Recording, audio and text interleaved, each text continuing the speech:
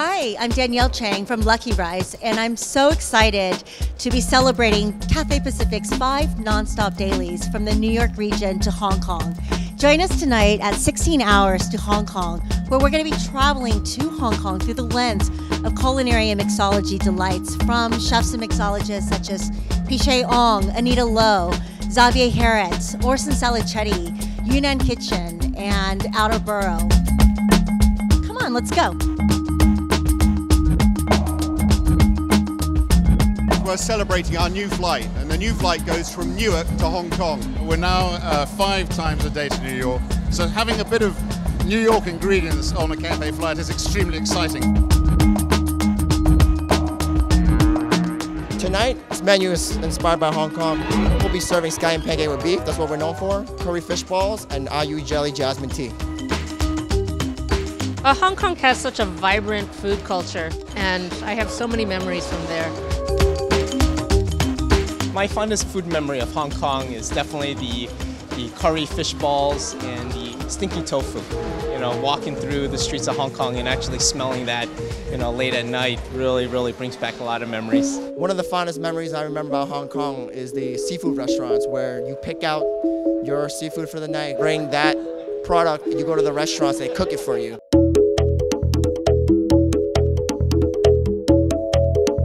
My favorite memories is eating at this little tiny shack, open air shack on Peng Chau.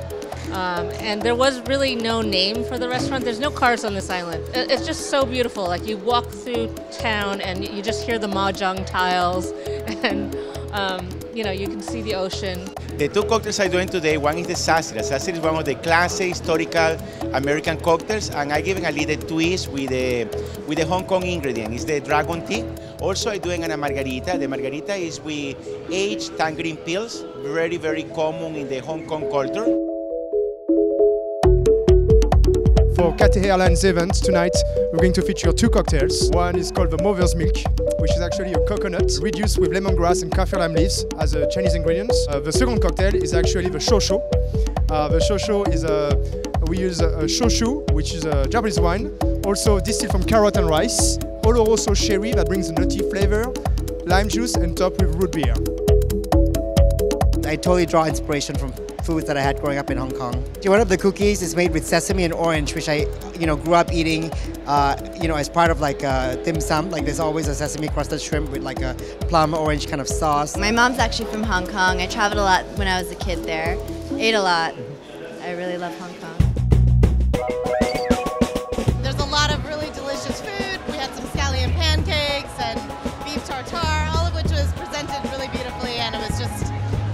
Really savory, delicious bites. These amazing uh, shrimp dumplings from RedFarm. They were fabulous.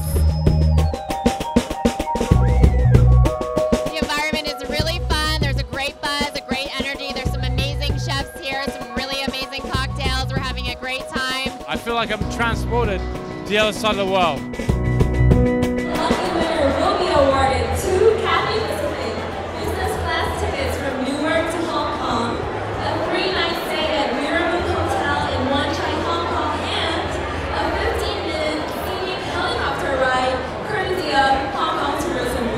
Given name, Fred.